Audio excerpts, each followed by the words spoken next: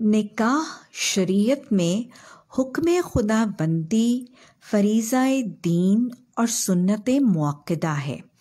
आप सल्लल्लाहु अलैहि वसल्लम ने फरमाया, अन निकाह सुन्नति, व मैरगब अन सुन्नति फ़लई मिन्ना।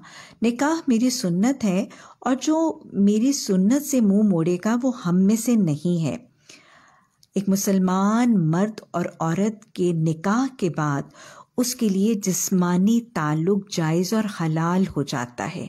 जिस्मानी ख्वाहिशात, रूहानी, माशी माशती तमाम ख्वाहिशात की तस्कीन और तकमील का ज़रिया बनता है और दोनों अजवाज एक दूसरे के लिए सकून और राहत और इज़्ज़त का ज़रिया बनते हैं। इसीलिए अल्लाह सुबहाना ताला ने सूरा बकरा में अजवाज को एक दूसरे का लिबास कहकर पुकारा, हन्ना लिबासुल्लकुम व अं तुम लिबासुल्लाहन्ना ए मर्दो, वो औरतें तुम्हारा लिबास हैं और तुम उनका लिबास हो। लिबास जिसम को ढांपता है, सुकून और राहत देता है, गर्मी, सर्दी, धूप, जाड़े, तूफ़ान से बचाता है, इज़्ज़त और पहचान का ज़रिया बनता है और लिबास करीब तरीन भी होता है। अल्लाह सुबहाना ताला ने सूरा रूम की आयत नंबर 21 में फरमाया व मिन आयात ही अन खलकलकुम मिन अनफुसकुम अजवाजा। लितस्कुनु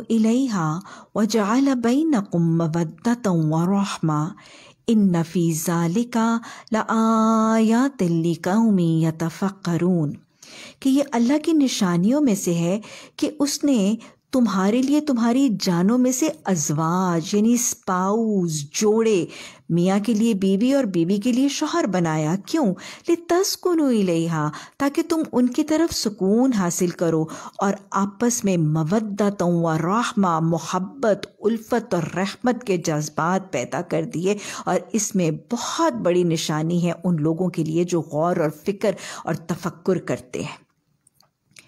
अजवाजी मोहब्बत और बाहमी सकून।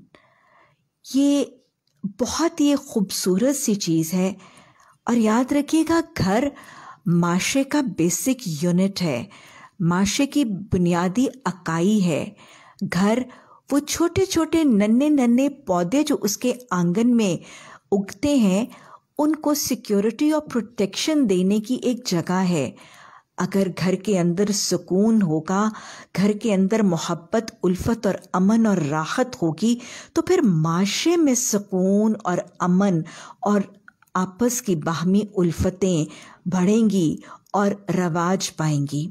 घरों में सुकून के लिए अजवाजी मोहब्बत और अजवाजी सुकून ज़रूरी है। अल्लाह सुबहाना ताला ने सूरा फुरकान की आयत नंबर सेवेंटी फोर में इबादुररहमान की एक बहुत खूबसूरत दुआ में अजवाजी ज़िंदगी के सुकून की दुआ सिखाई है।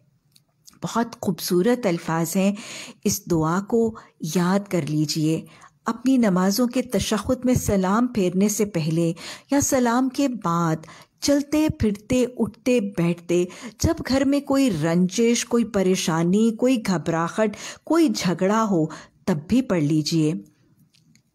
रब्बना हबलना मिन अजवाजिना व ज़ुर्रियतिना आयुन वजअलना लिलमुत्तकीना इमामा अल्लाह सुबहाना ताला हमारे अजवाज को यानी शोहरों को बीवी और बीवी को शोहर के लिए और हमारी औलादों को ज़ुरियत का मतलब सिर्फ़ हमारी इमीडिएट औलादें नहीं हमारी औलादों की औलादें और नस्लें तो अल्लाह सुबहाना ताला से दुआ है इस आयत में कि अल्लाह हमारे अजवाज को और हमारी ज़ुरियत को हमारी आँखों की ठंडक बना दे और हमें मुत्तकियों का इमाम बना दे।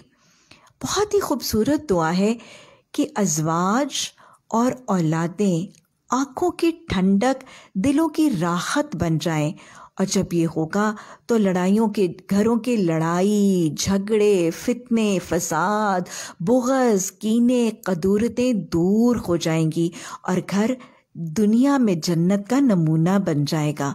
और ये तब भी होगा जब घर के अफराद के दिलों में एक दूसरे का, माशरे का, बरादरी का, हमसायों का नहीं, अल्लाह का खौफ होगा।